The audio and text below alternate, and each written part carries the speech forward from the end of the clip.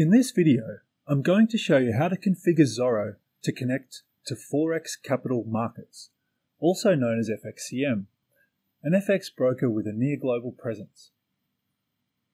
We'll be just connecting to a demo account, but the process for connecting to a real account is almost exactly the same. Where there's a difference, I'll be sure to let you know.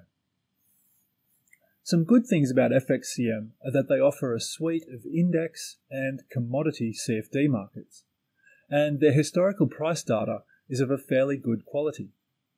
Plus, it's free and available for download via the API, which we can access with Zorro. I'll show you how to download FXCM's historical data in another video. FXCM had some troubles in the US recently and no longer operate there. I don't know the full story of what happened, only what I read in the news and the SEC filings. If you're interested, you can find that information with a simple web search. I'm not going to go into it or offer an opinion. What I can say is that FXCM's subsidiary companies, which operate in many countries including Australia, appear to have moved on from those issues. I've personally dealt with some of the executives from FXCM Australia in the time since their parent company's run in with the SEC, and I've found them to be very client focused and keen to build a solid, reputable business. Even if you never trade with FXCM, having a demo account with them provides access to the historical data library, so it is worth considering.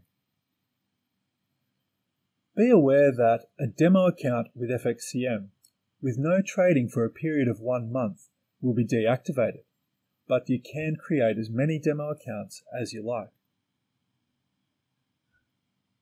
With Zorro, we can actually trade with FXCM via an MT4 terminal or with a direct API connection using Zorro's FXCM API plugin.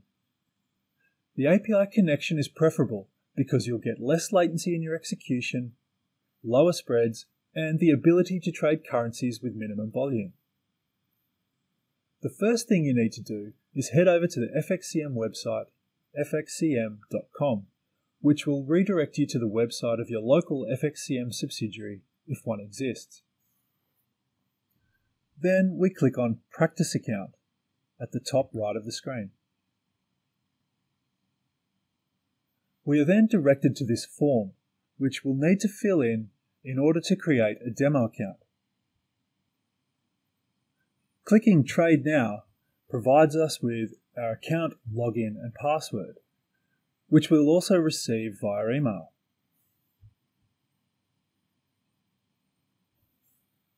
Just be aware that if this is the first time you've given FXCM your details, someone from the company will probably contact you at some point.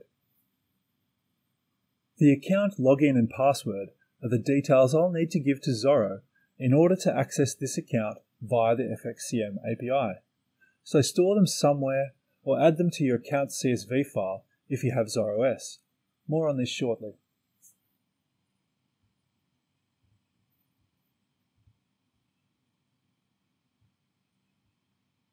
If I'm using the free version of Zorro, I need to paste my account login number in the user field of the brokers section of the Zorro interface.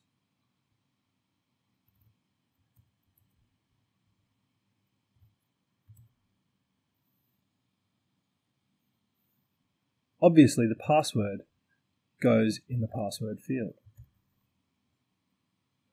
I also need to select Demo from the Account drop-down menu and the FXCM plugin. Now I can log into my FXCM practice account with the free version of Zorro.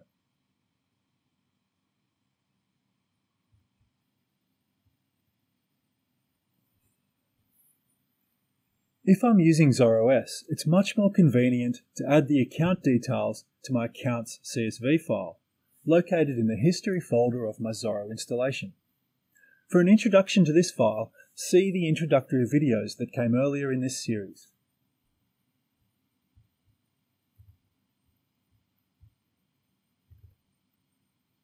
If I open my accounts CSV file,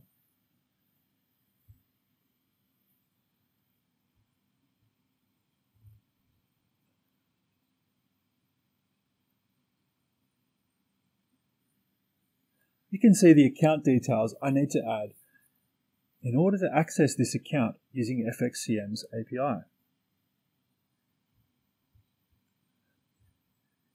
I'm just going to call this account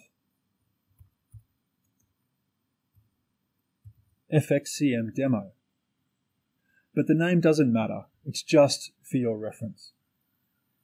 Likewise, the broker field is just for your reference and doesn't actually affect Zorro's behavior. The account field, we keep at zero. In the user field, we add our account login, which I'm just going to copy and paste from the website. And of course, in the pass field, we enter our password.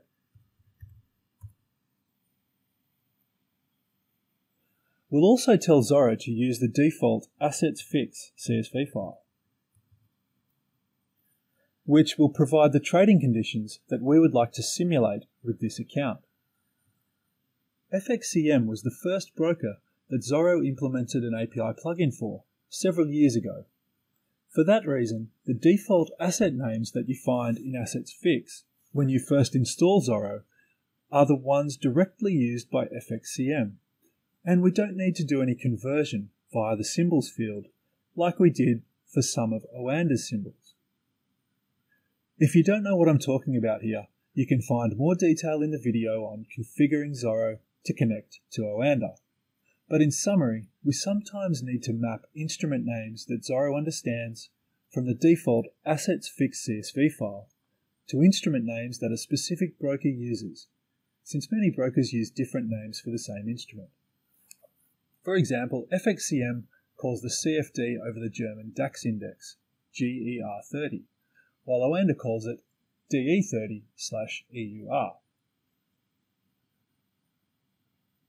We don't need to do any symbol mapping for FXCM if we use the default naming convention in Assets Fix CSV that came with your Zorro installation, since that file uses FXCM's naming convention.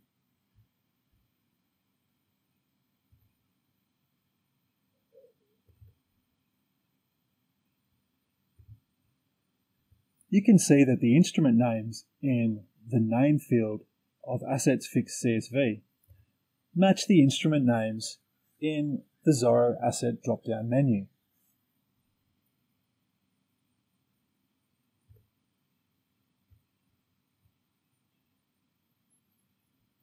Anyway, back to our account's CSV file. The currency of this account is Australian dollars. The account is also a demo account, so I put a 0 in the real field.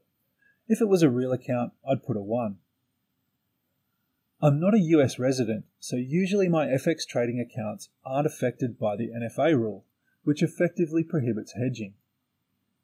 That means that I normally put a 0 in the NFA field. If your account is affected by this rule, you'd need to set that value to 14. And finally, I tell Zorro to use the FXCM plugin to access this account. I need to save this file and restart Zorro in order for these changes to take effect.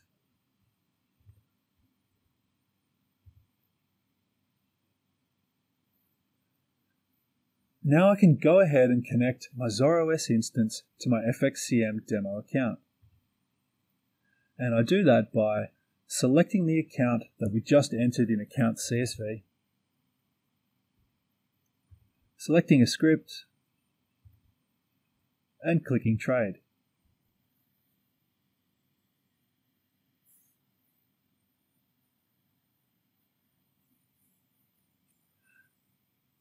And you can see that Zorro has successfully connected and is now trading this script.